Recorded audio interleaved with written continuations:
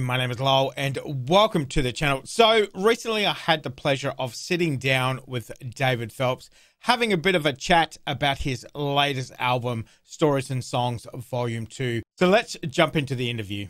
David Phelps, thank you very much for being here. It is a great pleasure.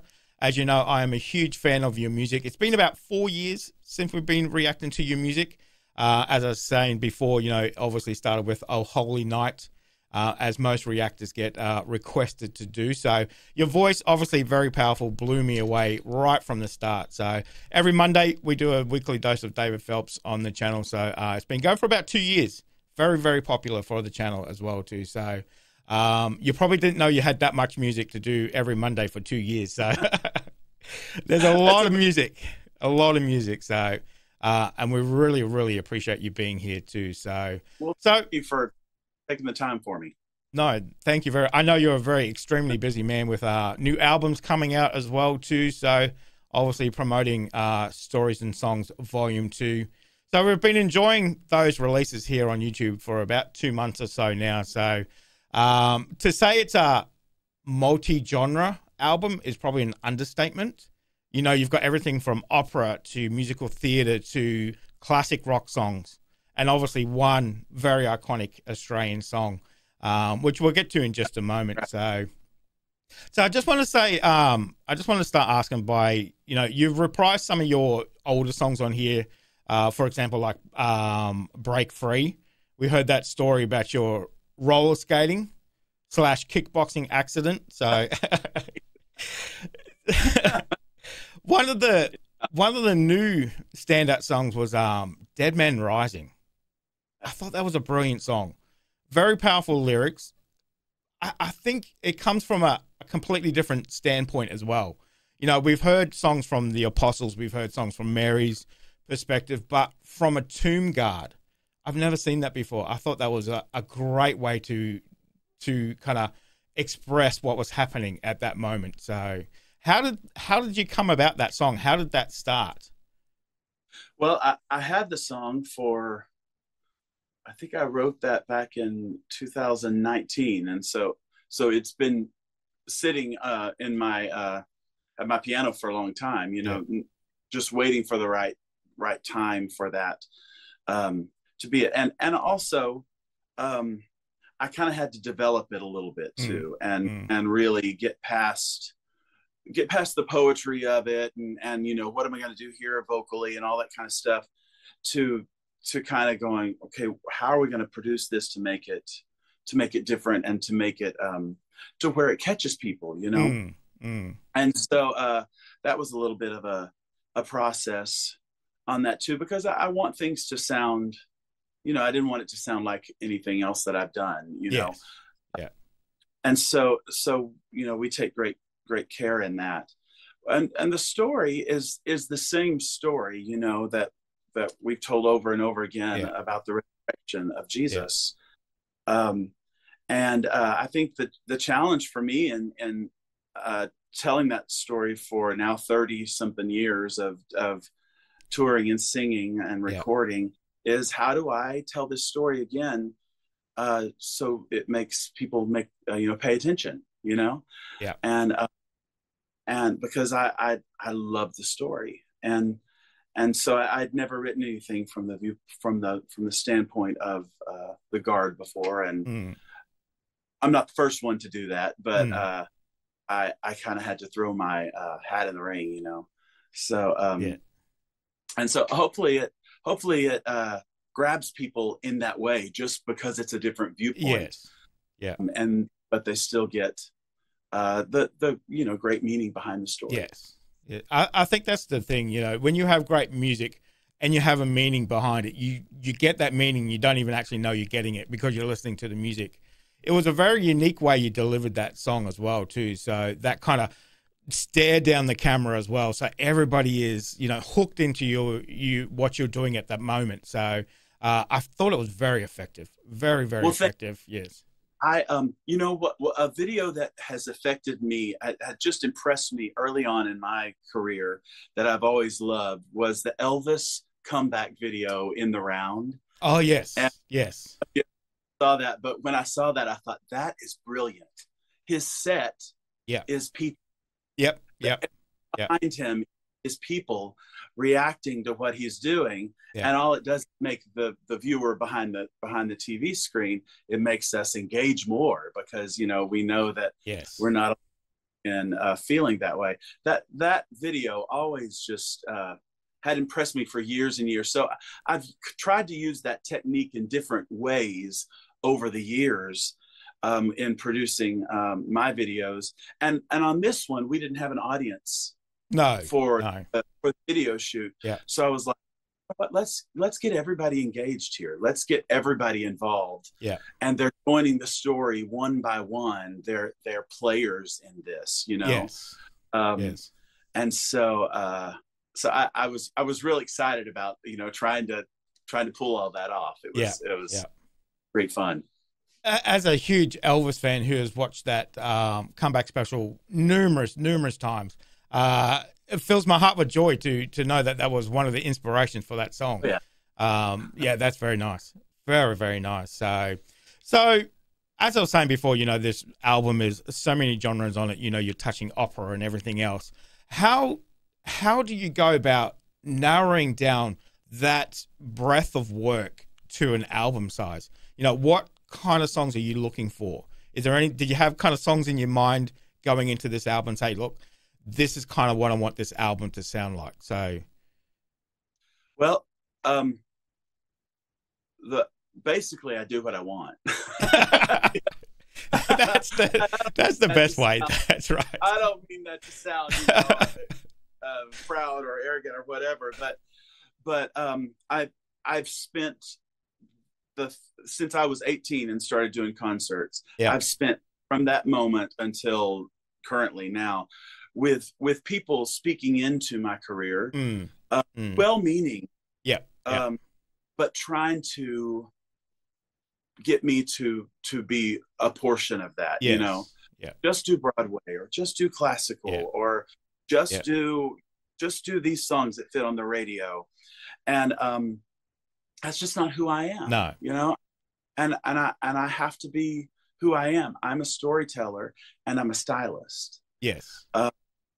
And uh that's that is what makes up my art. Um I'm a stylist in the way that I have the privilege of of jumping in and singing a classical song or Yeah. or doing somewhere from West Side Story Yes. or doing a song um, and and I think that that has um, that definitely is part of the definition of who I am Mm. and I think it also makes for a very interesting tour you know because people come and they don't get just one sound no, that's know, right. during- That's right.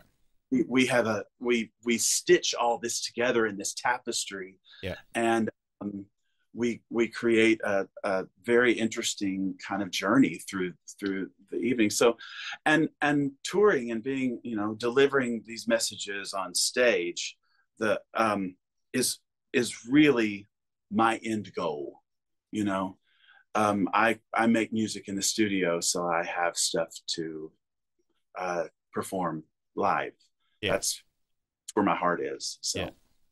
That's that's excellent. So I, I've heard you say you're a stylist before, and that's basically how come your career has kind of progressed and is still it's got that longevity in it as well too. So, um, and I think I remember you saying in that when Game Changer came out, you said that you know these songs of me. So, and I think you've con- continued that on from that album where you've kind of added in your own personality into your album. So, um, I think that's the Well, way to you go. I- and I've But- done it from the beginning. You Yeah. know, um, I, I think I think where people might get confused. You mentioned Game Changer, and Mm-hmm. Yeah. and uh, for you, such people were like, "This is this feels very pop," and I'm like, "Well, I've always done this. My- yeah, I've had pop records before, and um, the the thing is, they had just seen me in one setting before. You know, yes, yes. so hopefully we pulled them along, and uh, they that that you know obviously you know started reacting to yourself you know through the Gaithers. So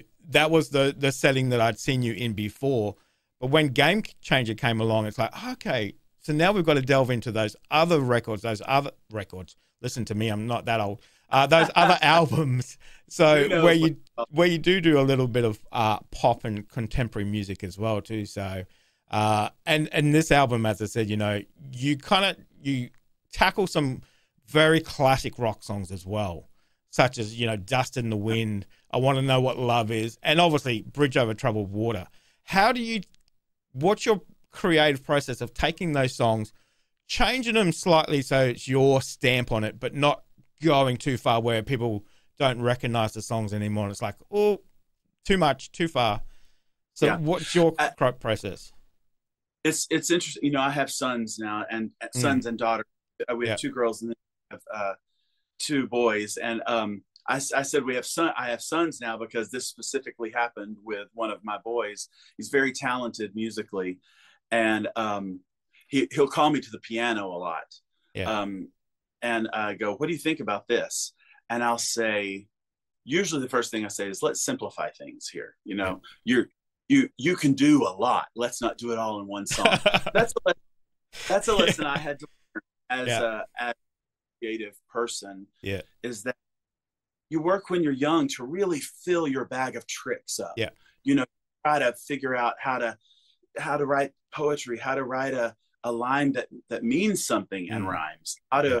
how to do a uh, how to write a melody line yeah. um, and then all the different ways you can harmonize it and within different styles you know you learn all that stuff yeah and then start putting it to use you have to figure out well what needs to go here yes uh, yes you know restraint is one of the biggest lessons that any artist has yeah. to learn um, for their whole life and so um, when I at this point, and I've made this, I've I've done it wrong before, mm. um, but at the point when I come up to a song like I want to know what love is, I go, what's the magic in this song? Mm. Why why why am I consider doing this song? Hmm. Because mm. you know I it's I know it. Why do I know this? What is yeah. the what is the thing about this song that that made everybody, including myself, fall in love with it? and so you have to go. Well, I have to keep that. Yeah. And whatever that is and a lot of times that's the melody line. Sometimes it's the actual licks that the singer does yes. you know? Yeah. Um like well the song it the the you know the way the singer sang it and went off the melody line becomes iconic to the song. So you yeah. gotta have to yeah. you gotta uh, gotta keep those things. Yeah and so you really study it and go um these are the things i'm going to keep these are the things I'm going to bring to it. And now let's start cooking here. Okay. Know? Okay. That's an interesting way to do it. As you said, you know, keep that that true essence of the song and then kind of build around that. So it becomes your song, but people still recognize it. So your version of um, Dust in the Wind by Kansas was fantastic. Absolutely fantastic. Uh, obviously, a, as I said, you know, a very, very iconic rock song as well, too. So, so yeah. you're talking there about um, you know, spending time with your children and doing that. Like on um, volume one, volume two has your your your daughters uh, involved as well. So, uh, and then a nephew as well um, coming along for the for the journey as well. So, it must be at this point in your life where you can actually sit down and make music with your family, your daughters. That must be such a great privilege to be able to do that. It is. It is. My daughters and my sons too. They yeah. weren't on that video, but on this new this new album that's coming yeah. out. Yeah. Speak of Love. Um, I had both my sons in the background vocal group that we did, and uh, we we we added um, "Go Rest High on That Mountain" oh, Vince Gill yes, yes. to this album, and um, my daughter Callie sings that with me, and my son Grant sings that. So it's a a trio there. So yeah, they they all we all just yeah. make music I think part of it is genetic. I, I, I, have no doubt that part of it is genetic, mm-hmm. but a lot of it is environment too. Yes. I mean, yes. Couldn't can't step into a room in our house without something music, you know, happening. So happening, yes. I, I think that's a wonderful way to grow up as well. That music surrounding you as well. Uh, it's a good way uh, communication for sure, bringing families together. So instead of sitting around screens and everything else like we do these days as well. So, uh, yeah. So give us. Yeah. yeah. Um. So let's get into So when this um, album came out, Stories and Songs Volume Two, you put out little snippets on YouTube. You know what's coming up and the you know album releases. Now there was one song that obviously caught my attention straight away. Um, Aussie Aussie um, iconic song by originally by John Farnham came out in Yep. um, 1986, I think it was. That's so um, instantly recognizable by any Australian worth their salt. Um, and obviously, you know, we grew up singing this song. It's everywhere. It, even now, you can st- still hear it on the radio every day. Pretty much every day, it's on the radio. Very, very popular. So, um, and John is um, what we call a larrikin in Australia. A larrikin is kind of somebody who likes to kind of joke around, likes to have a good time, but um, when he sings, the whole you know the whole of Australia just stops and listens. He's got a very very wonderful voice, probably one of the greatest Australian singers that we have. So so when I heard that you were going to do this this Like- song, I think he's like your biggest selling artist yes, ever. yes, so yes, It's just Yeah. huge. What a huge career and impact. yes, Yeah. yes. He uh, I think it was 1960 something. He started with uh novelty songs. Um, I think it was Sadie the Cleaning Lady. So he's kind of he's kind of always kind of been uh, a bit of a, a a bit of a larrikin, as we say. You know, somebody who likes to have a bit of fun. So, but um, when I heard you were going to sing this song, it was kind of like my my real life and my YouTube life kind of colliding together. You know, so um, I've heard a lot of people sing it. You know, some people sing it completely different. Some people kind of butcher it. You know, but um, I think you did a wonderful job. I think, as you were saying there about capturing the essence of the song, I think you definitely did that as well too. So, um, so how did this song come to be on this album? It's not a American song. You you know you have obviously um, classic American rock. So how did this one come about? So I I'm a teenager in 1986. So I, I uh, the song, um, and I, but I had forgot I had forgotten about it. Mhm. And my daughter Callie, uh, when we were looking for songs, and Yeah. uh, I was cons- she sent me a text. She was like, "You got to consider this one." I'm going to be honest with you. It is Yeah. a hard song to sing. Yeah. It Yeah. it is probably the hardest song on the whole project to sing. Yeah. And so I I didn't answer for a little while. but kept pressing. He kept pressing, and I was like, I don't know. I I, I got to see if I can sing this song. Yeah. You know, it's uh, it just stays up Yeah. there. I mean, yeah, it's pretty high. Yeah. He he he is a high tenor, so he he does get up there pretty high. So incredible voice. Yeah. Yeah. incredible. And you know, um, I went through the same process with it as Mm. uh, as everything uh, else that I do. Just like, what's the magic in here? And of course, the magic of this, more than anything, is Mm. John Farnham's voice. yes, yes, and, and Yeah. uh, you know the way he um, the way he sang it. So I tried to stay as close to that as as possible, and um, and and just you know respect that for listeners who who might happen upon um, my take of it. Yeah. And then you know you get into the studio. And um, you know, I had Julio Barreto, who is an orchestrator um, uh, that works with the Atlanta Pops Orchestra. I had him orchestrate it with the strings okay, uh, on. And then you get it. I got into the studio and started singing it, and I think I went through all the stages of grief as I and just, just thinking, going, "Wow, I gotta, uh, I gotta get through this because it, it is, it is tough." It- it's anybody- yeah, That's a throwaway pop Yeah. song, you know, and you just go to your car and you try to sing along with Yes. John. I, I I must admit I have butchered that song many a time, many a time. it is yeah, it is one of those songs that, as you said, you know, it might just be a throwaway pop song, but once you get into the meat of it, it is a tough song.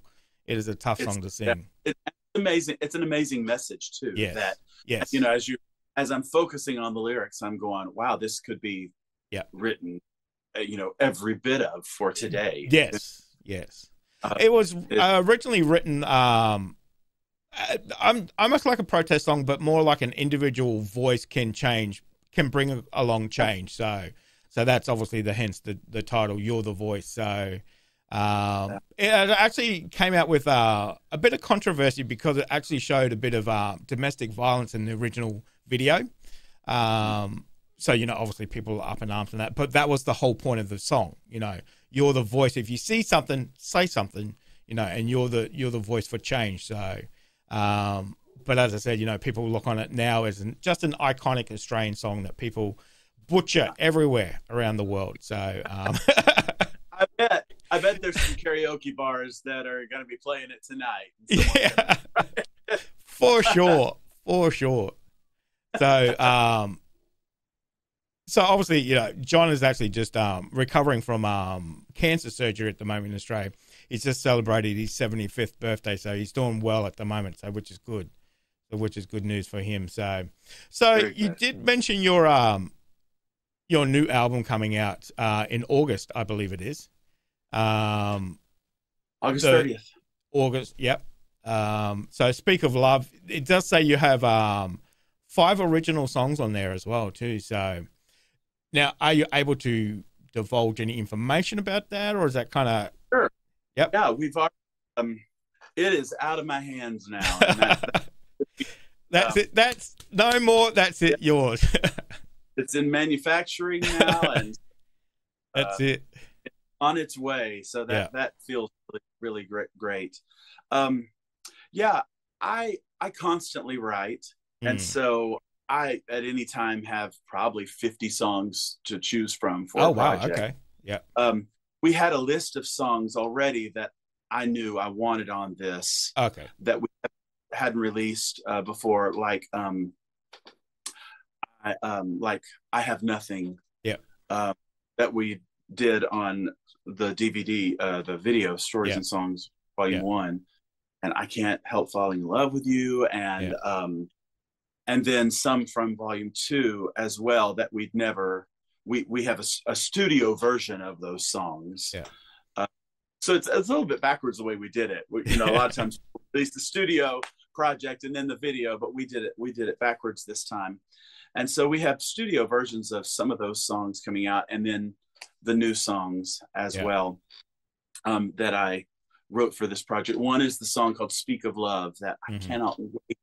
I cannot wait for this song and and just the the message Okay. uh, get out because I, I want I want to start a, a movement Yeah. with this idea. And the idea behind the song is that our words create.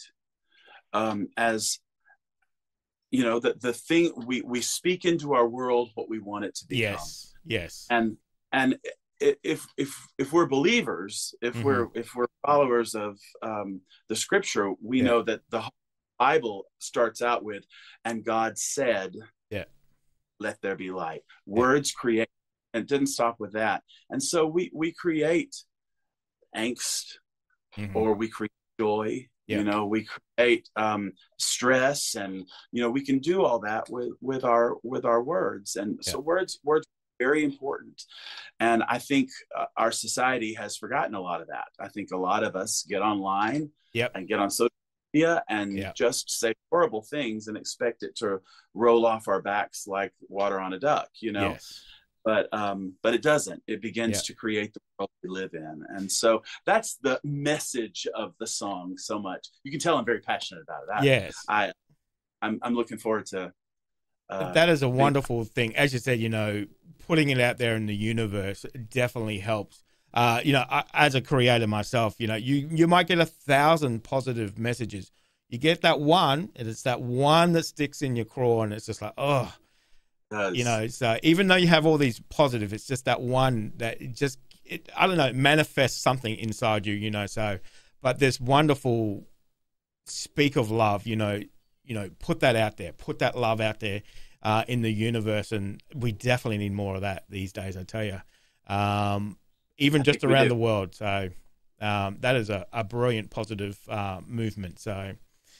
Uh, I'm sure we'll get to reacting to that once that comes out as well. I can't I can't wait to to listen to it as well too. So so one of the singles We're, we'll Yeah. have two singles come out in august okay and that the one of those two before the album comes out okay fantastic fantastic. I'm sure that will be on the on the channel once that once that drops. That would be great. because as you know, we we love your music here. Um, we definitely love reacting to it too. So uh, you can sing any genre, which is um, you know amazing and uh, terrible at the same time because I can't sing a word. So um, it's just um, sometimes it's like yes, that's David for you. He can sing anything he wants. So so you you do have a new tour coming up uh, now. Obviously, I'm just throwing it out there. As you said, you know, speaking to the universe what you want. Is there any chance you're coming to Australia anytime in the near future? You know, I, have been to Australia a handful of times, yes. and it's amazing. Um, it's it is a long way away. We know that. Not a so. yes, so. we, we, need to make it happen. Yes. Um, I I, uh, I would love it. I would yes. love it. So yeah. we need to figure that figure that out. Yes, you certainly do have a lot of fans uh, down under. Uh, we'd love to hear your version of "You're the Voice" live as well. I think that would be amazing. So obviously for me, the ultimate would be coming to a, a barn bash um, outing. So looking at that, that's what that's what the future holds for me. So hopefully, touchwood, yeah. in the next few years, I'll I'll be there in the barn. So I, I have a lot of community, as I said here um, on the channel, and every probably every two months, when are you coming to a barn bash? When are you coming to a barn bash? It's like yeah, oh, I'm, getting there. I'm getting there. So uh, that's definitely the the ultimate goal. So I'd love to go over there. So so as you said, you know, you've been doing this for for 30 years. This music industry, the music business. Is there still people that you would love to collaborate with? Is there anybody that kind of inspires you that you would go, oh my god, I would give anything to to do some music with them? You know, that I definitely have singers that I am just wowed by. Yeah. You know, someone who I think is just at the top of her game right now um, is Kelly Clarkson. Oh she God, is, yes, yes. She just that is another one. Yes, yes. I mean, I I uh, I to her voice. Yeah, and it's it's just you know yeah. how to figure it out. It's just really, and she has gotten so much more solid mm. as, as she has uh, matured. Yeah. I mean, it, she just can do anything. She's yes. amazing. She's another one of those singers that irks you and inspires you at the same time. Um, we were just listening She's... to her yesterday, actually, on a live stream. So, oh yeah, yes, I love her mind too. So yes. that's that's yeah. so yeah, she is another one of those things that um can sing anything. Absolutely fantastic singer. Absolutely fantastic. So so that's all the questions I have um, at the moment. Um, as I said, I do appreciate you coming along and spending some of your precious time with us. I know you're obviously extremely busy um, with all the farming and everything else as well too, not just music as well too. So um, I have a mother-in-law that owns a farm, and you know she it's very busy. There's always something to do, always, always. something to do. yeah. So oh, you know we're, we're empty nesters now. My my kids moved off oh, and left okay. here with this farm to take care of by myself.